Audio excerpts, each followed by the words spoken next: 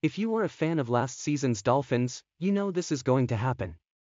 Josh Boyer played very badly, Boyer's defense is something I've never seen before.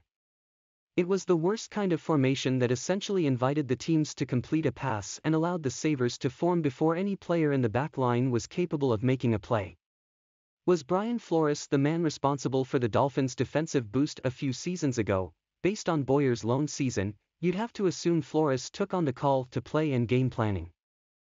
Miami Dolphins have talent.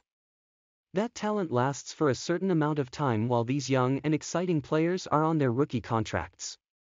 You have to take advantage of their youth and turn that into an elite level definition. The Miami Dolphins are an attractive option.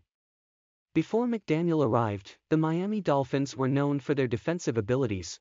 After a bad season for Josh Boyer, he was fired. The Miami Dolphins are strongly considering hiring former Denver Broncos head coach Vic Fangio for their vacant defensive coordinator position. As per Dov Kleiman and Josina Anderson on Twitter.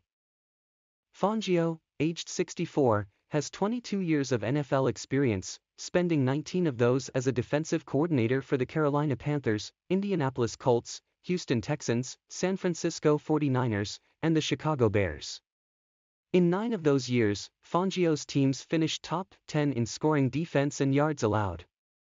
Most recently, Fangio spent three seasons as the head coach of the Denver Broncos, managing a 19-30 record. In terms of scheme, Fangio often runs a 4-3 defense with a 3-4 personnel, and uses two high, two deep safeties, to limit big plays. In short, he forces offenses to keep it short through the air, and makes the game a battle of attrition. Offenses are sometimes forced into running the ball, which not many teams do effectively in today's NFL. And, having worked with a few of Miami's players before, such as edge rusher Bradley Chubb, he just may be a perfect fit for the Dolphins.